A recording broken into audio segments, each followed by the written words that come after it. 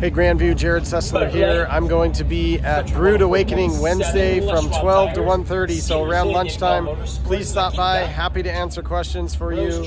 Ballots will be in your boxes here in the next uh, probably week, and uh, certainly need your vote and your support. Again, Jerrod Sessler, endorsed by President Trump. I will be at Brewed Awakening in Grandview, in Grandview at 12 to 1 on Wednesday. Thank you.